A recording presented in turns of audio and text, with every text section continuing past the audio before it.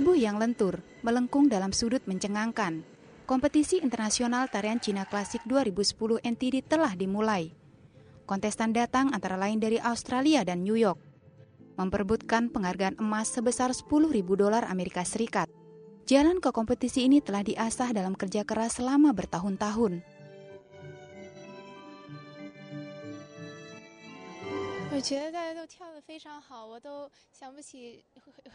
Tapi mereka semua berusaha keras.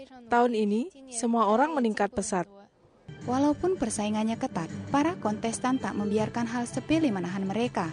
Tak juga hal-hal seperti gaya gravitasi. Kompetisi semakin seru pada hari kedua. Para juri memperhatikan gerak dan gaya dengan sangat detail. Mereka adalah pakar tarian klasik Cina dari pertunjukan seni Senyun. Tari klasik Cina berbeda dengan balet dan tari modern. Penari tidak hanya memperhatikan gerakan fisik mereka, tapi juga harus menghubungkan gerakan dengan emosi. Saat menarikan tarian klasik Cina, saya merasa sangat bahagia. Ia sangat berbeda dengan tarian lainnya. Saya belajar balet dari kecil, tapi balet tidak memungkinkan kita untuk begitu ekspresif. Maknanya tidak sedalam tarian klasik Cina.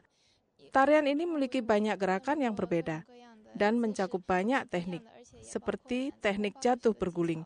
Jadi saya sangat tertarik pada semua ini dan benar-benar menikmatinya. Inilah finalnya dan hanya yang terbaik yang bisa sampai di sini. Setelah aktivitas fisik yang ketat dan melelahkan, kini saatnya menunggu pengumuman pemenang.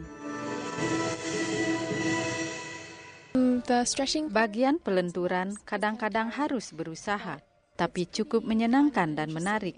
Kita harus melakukan tarian yang berbeda, jadi hal ini sangat mengagumkan. Setelah mengumumkan pemenang perak dan perunggu, pemenang emas pun diumumkan. Untuk wanita dewasa, jatuh pada Rachel Bastik dan Cindy Liu. Untuk pria, pemenangnya Golden Lee, Limbu, dan Steve Wang. Ini merupakan akhir dari NTD kompetisi tari klasik Cina tahun ini. Terus ikuti, karena hanya dalam beberapa minggu kita akan mengadakan kompetisi internasional kuliner Cina 2010 di New York Times Square.